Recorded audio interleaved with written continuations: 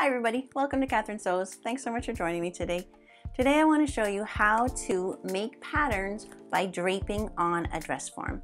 So there's two main ways to make patterns. One is the flat pattern drafting method, and I have a video on that that shows you how to pattern draft using a skirt block. So if you want to check that out, check out this video. It'll give you most of the skills you need to make almost any pattern you can think of through flat pattern drafting. But today I want to show you how you can drape on a dress form and make a pattern that way too. Most of the YouTube tutorials that I've seen on draping teach you how to drape to create a basic block or a sloper that fits you and that's fantastic but that would to me lead your, your next step would be to use that sloper in flat pattern drafting. But you can just make whatever style you want on a dress form through draping. It's really fun. You feel really like a designer. You feel like you're on Project Runway when you're draping. My students love it. I personally prefer flat pattern drafting. It's more like architectural. I can kind of see what I'm doing more. So draping is not my favorite, but I know my students really enjoy it. Now, when I say draping, it doesn't mean that the style you're going to be creating is very drapey. It can be as structured as you want.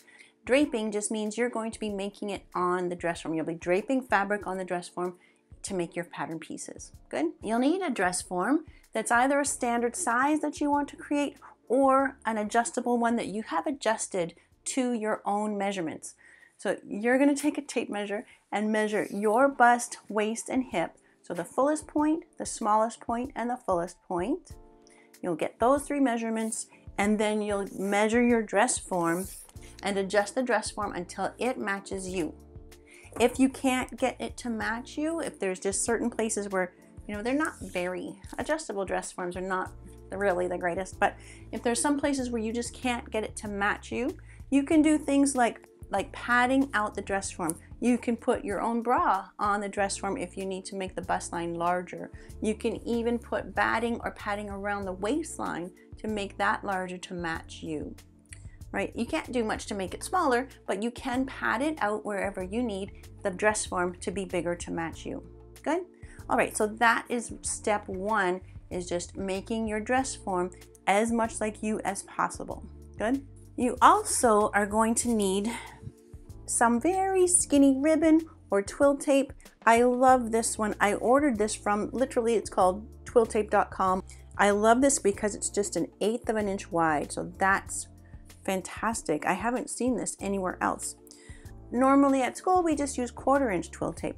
I like the skinnier one even better though than the quarter inch, just because the, the finer your line, the more accurate you're going to be. But you know what, in a pinch, you can use ribbon, you can use some a, a narrow cord, anything like that, just to create your style lines on the dress form. So I'll show you how to do that. I have seen it recommended to use a 1 8 wide tape. Um, which seems like a brilliant idea, but you know what? I really dislike it because when you put your pins into that tape, of course, your pins get all gluey and gummy, and it's terrible. I don't like that at all. So stick with the twill tape. That would be my recommendation. Then you'll need some fabric to drape in. Your fabric should be similar to the fabric that your final product is going to be. Especially when you're starting out, you don't drape in your good fabric. You're gonna drape in something like a muslin. This is actually an old curtain that has a big stain on it and I'm going to use that. But if your final product is going to be made out of a knit, then you need to drape in a knit. If your final product is going to be a woven, you drape in a woven of a similar weight, similar hang, like it hangs the same way, similar drapiness. If your final product is going to be a knit, you need to drape in a knit. If your fabric is woven and has a bit of stretch, then you really should be draping in a, in a fabric that's woven and has a little bit of stretch. So find the fabric that's going to most closely match your good fabric. Good? If your good fabric is cheap, then go ahead and use it if you've got lots. Other things you'll need are some pins and a good sharp pencil. And as always, I'm going to recommend my favorite see-through ruler and even the Vary Form hip curve. And of course, you'll need your fabric shears. After we have the dress form adjusted to fit our own measurements, then we get to do the fun part, which is planning out the style lines using the twill tape. You're just going to be kind of drawing lines on your dress form using twill tape. At this point, I don't really know what my design is going to be. I'm just going to spend a few minutes playing around with my twill tape and I can either make my garment symmetrical or asymmetrical. It's completely up to me as the designer. Let's keep it simple and let's not do sleeves. We'll keep this sleeveless. Good? Okay. So I'll just be playing around a little bit here, making really whatever design I can dream up.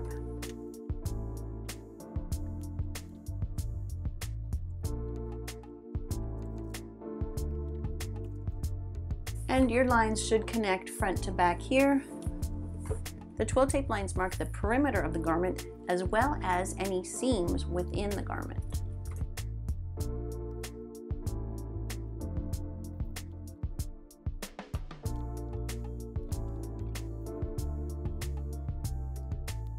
Still haven't really even decided what's going to go in here. If I want to have that piece drapey or do I want to have it tailored with a dart? I can do either one. I don't want the skirt panel to come all the way up here, so I better get myself one more line here.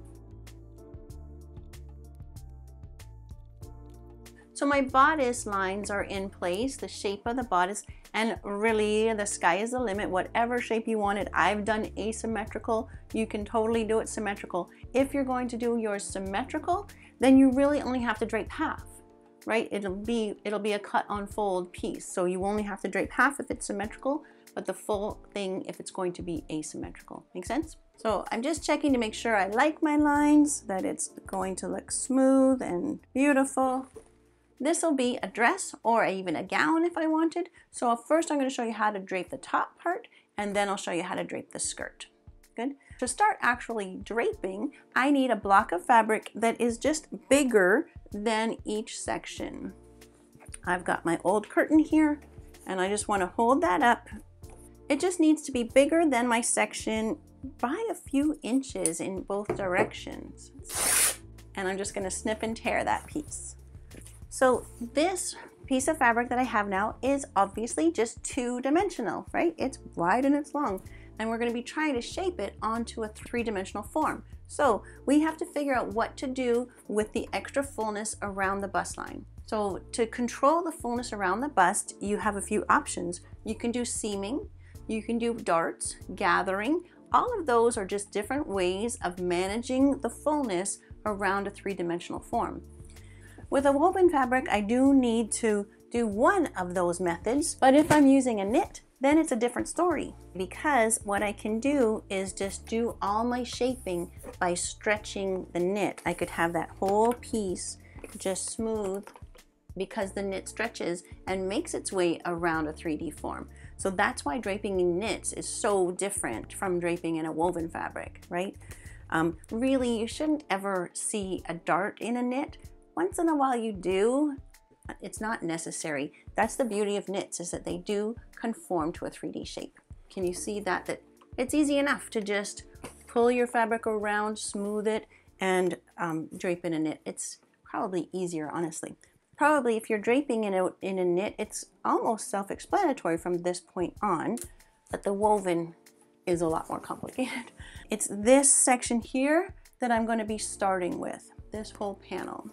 So I'm going to take that block of fabric and make sure I'm just fully covering that section. And I can, I don't know if you can, it doesn't look like you can see through this. Oh yeah, can you see those two lines there? That's my twill tape and I just want to be able to see that. Now, let's talk about grain line. The grain line here, how I've got this is off kilter. So I want to be able to mark the grain line on this. So if I have a very sharp pencil and I lay this down, I can drag that pencil right between two yarns of the fabric and mark my grain line like that. That's kind of a fun little trick.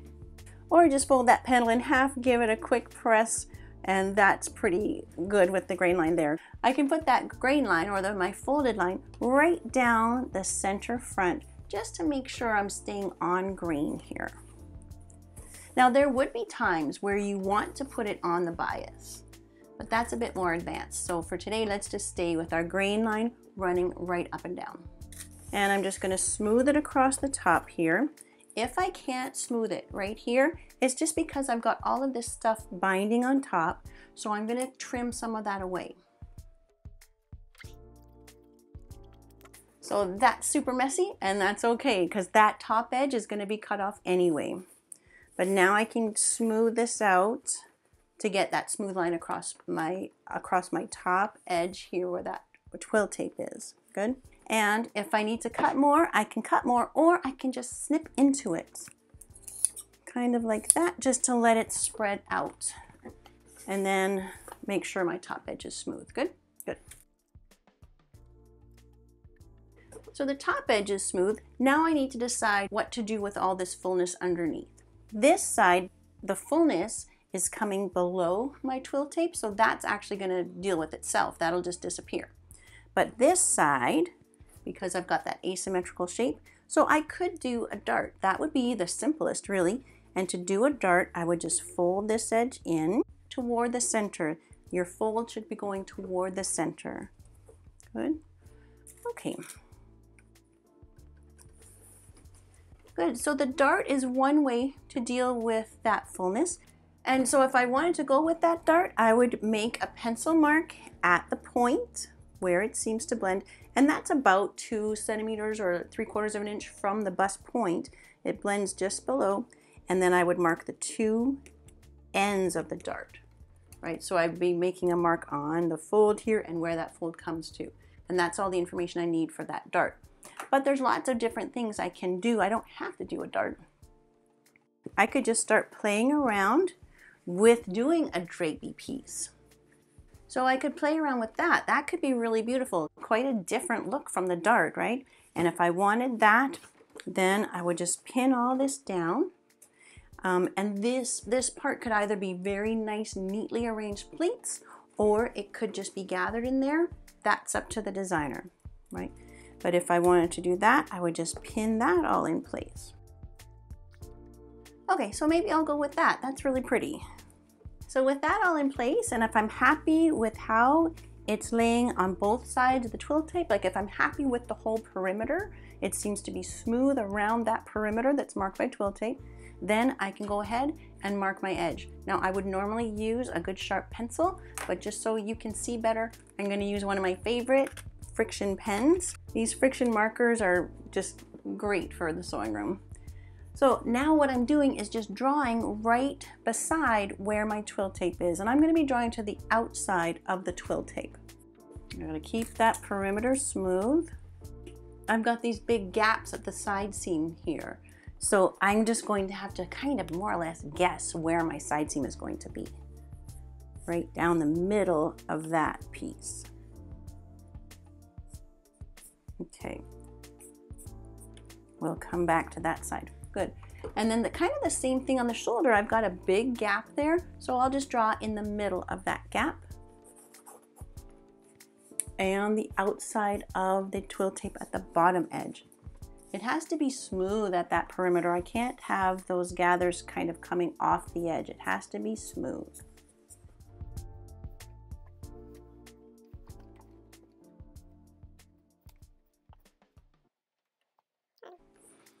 And if I'm coming up a bit short here, my twill tape is actually a little bit like a half an inch below.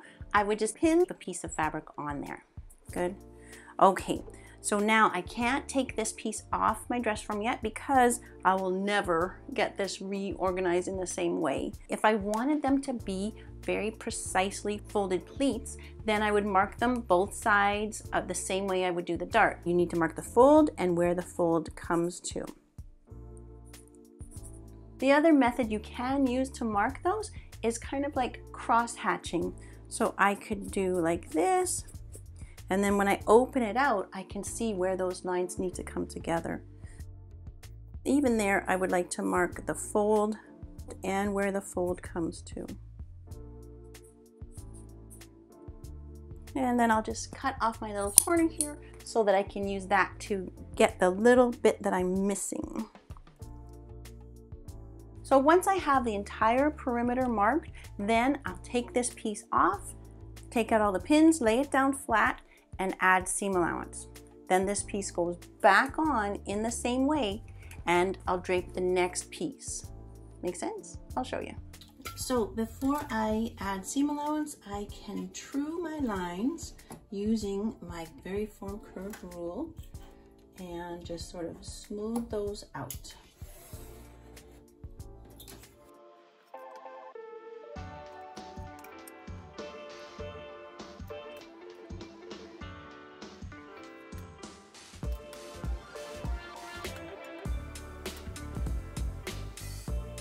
So I've just trued all the lines. I haven't done down here yet because I need to fold this back together before I can figure out what my shape is going to be there. And I'm going to go with half inch seam allowance on everything. So I'm laying my half inch line along my new green line there.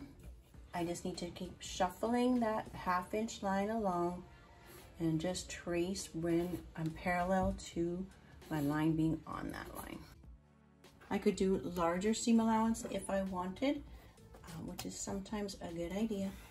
But today I'm just gonna keep everything a half inch, but you can choose whatever seam allowance you're more comfortable with. You could just do a quarter inch on a neckline because you end up having to trim that down anyway to make it smooth. You could do a full inch at your side seam and shoulder seam so that you have room for adjusting.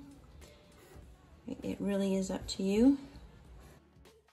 Now I'm going to be folding my pleats back in and I'll just double check this back on the dress form. Okay, good. That looks great. So now with the pleats all folded like that, I'm going to draw my seam allowance in that folded up position. I'll be cutting out the whole piece now.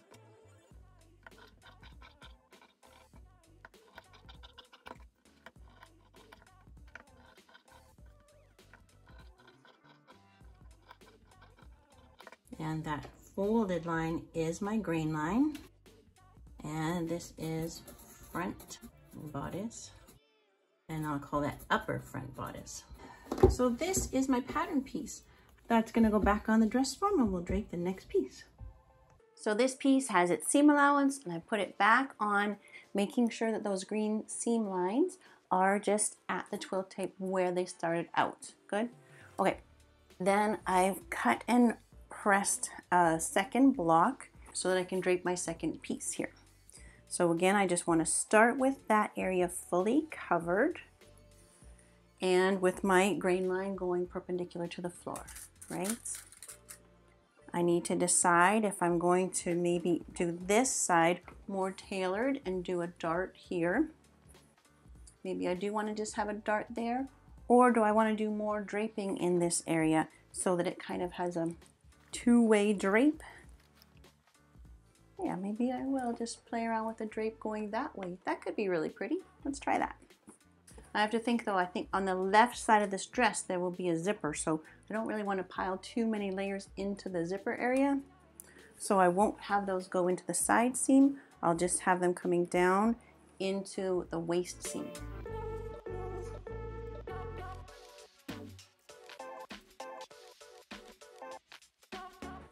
That looks sort of harmonious. The design is up to you. This is strictly for demonstration purposes. okay, so I think that's good. I need to check to make sure the perimeter is smooth all the way around. Sometimes around the armhole here, you have to do a little bit more of that cutting in to make it smooth, but I think I'm, in this case, I'm actually okay. So now through my fabric, I can see my original green line and that's where I'm gonna draw. So those two pieces connect together perfectly. Make sense? So I'll just mark that green line here. If you can't see through your fabric, then you'll just feel for that twill tape. And again, you'll draw on the outside edge of the twill tape. So right around to the side here. And again, I've got that big gap of the side seam. So I'm gonna come right down the middle of that Here's my twill tape at the bottom and it kind of curves up here. So my perimeter is done. Now I need to mark all those little pleats. I've got the fold marked and where the fold meets the flat, the fabric underneath. So I've marked that on all those little pleats. And you can do that cross hatching if you find that helpful. I don't know if it really is that helpful. Okay, that piece is good to go. I'm going to take it off, true the lines with my two rulers, the curved and the straight, and then add the seam allowance and then cut out those pleats just the exact same way that I did in the first one. It goes back on I would then drape the back in the exact same way. I'm not going to do that today though because I want to show you how to drape the skirt. So I'll just do this part really quick and then we'll get onto the skirt. All right, so this one has its seam allowance on, so I'll be putting it back on the dress form. But this time I want to pin my two seam lines together. And I'm pinning the green seam line to the green seam line to make sure that my pattern pieces actually fit together and that that seam line should still run along the twill tape.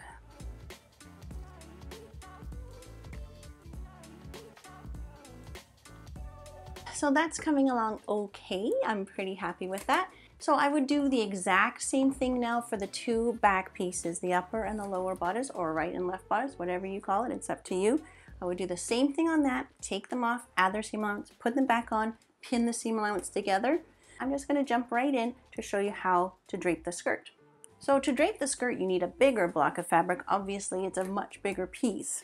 And if you're doing a straight skirt, your block doesn't have to be anywhere near as big as if you're doing a full skirt. That makes sense too, right? And if you're doing a symmetrical skirt, you only have to drape half, but mine is slightly asymmetrical here just at the top. And I could add in some asymmetrical detailing here too if I wanted. If I'm doing a full, like an A-line skirt, you have to start with the block fairly, like way higher than you would think because to add in that fullness, we're going to be dropping this down. So let's for the moment pretend this is going to be a symmetrical skirt and that'll be much more clear as to what I'm doing.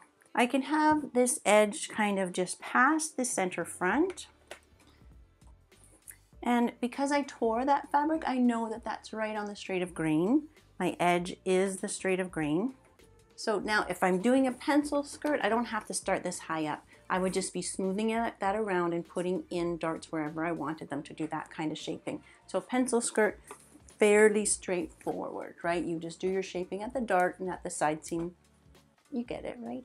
To do a fuller skirt, it's different from how you'd expect. Every time I drop this fabric down, I'm adding in more fullness into the skirt. Can you see that? And I could add that in with with pleats, with gathers, or I can keep the top edge smooth, but still be adding in fullness at the bottom. That's what I want to show you. So if I want to get a little column of fullness in here, and then I can drop my side again, kind of add in a column of fullness. I want to get rid of this here that's bugging me.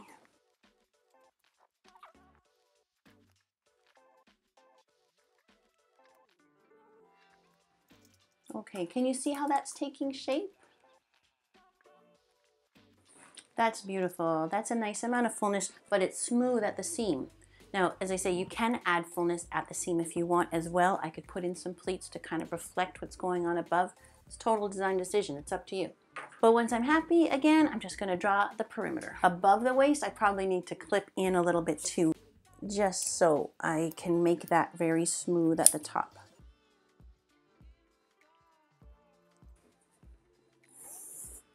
And then mark my side seam all the way down that middle, that gap there. I can do things like measure the length that I want and mark the bottom perimeter, but for now, that's really what I wanted to show you, that dropping it down as you move toward the side seam is how you build in that beautiful fullness. You mark your perimeter, you take the piece off, you true your lines, add the seam allowance, and that's your pattern piece. So you'll go through that process with each piece, take each piece off, add the seam allowance, put it back on, pinning the seam allowance together. Then when you have all of your pieces, you'll baste them all together, try it on, do your fitting, and you can adjust your pattern pieces accordingly. And then you'll undo your basting stitches, adjust your pattern if you need to. Each of your draped pieces is now your pattern piece. Your pieces are your pattern pieces. You don't have to transfer it onto paper. You're just going to use the fabric as your pattern piece. So hopefully that's enough to get you started on draping. It is really a fun and beautiful process. It's so hands-on and tactile and you really do start to feel like a fashion designer. The world is open to you if you learn some good draping techniques. So have fun with it. I hope you did learn something today. I hope you enjoyed it. And if you did, hit that subscribe button for me, please. And hit the notification bell as well so that you know every time I upload a video. So have fun with draping. And till next time, you take care.